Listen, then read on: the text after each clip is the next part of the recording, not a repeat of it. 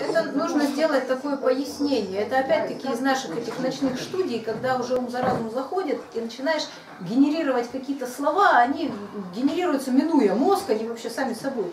И мы, значит, вот там после трех-четырех бессонных ночей мы сидим и ведем, значит, с подругой, с соседкой по общежитию высокоинтеллектуальную беседу. О том, что, дескать, вот там птицы начинают петь, и только поэтому понимаешь, что утро пришло.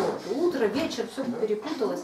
А потом почему-то мы стали говорить о том, что вот писатель Куприн, он обычно всем очень нравится, пока человек молодой, а потом чем старше ты становишься, тем меньше ты любишь писателя Куприна. И, наверное, это признак старости, рассуждали там 25 мы, что, наверное, когда перестаешь любить Куприна, значит, это все уже старость, пора на кладбище. И у нас родилось, значит, да, двустишие, которое получило несколько продолжений. Двустишие было такое, я утро узнаю по соловью, по Куприну я старость узнаю. А дальше, значит, были продолжения. Значит, собственно, я утро узнаю по соловью, по Куприну я старость узнаю, они придут внезапно, и лосося я не доем, и водку не допью. Значит, я утро узнаю по соловью, по Куприну я старость узнаю, а если кто со мною не согласен, так я тому по морде надаю.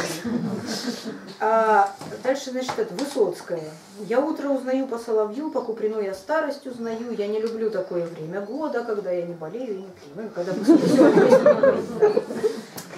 а, философская. Я утро узнаю по соловью, по Куприну я старость узнаю, как быстротечен жизни миг короткий, как бытие трагично, мать твою. Политическое. Я утро узнаю по соловью, по Куприну я старость узнаю, по декабристам узнаю побудку. Спи, Герцен, баю-баю.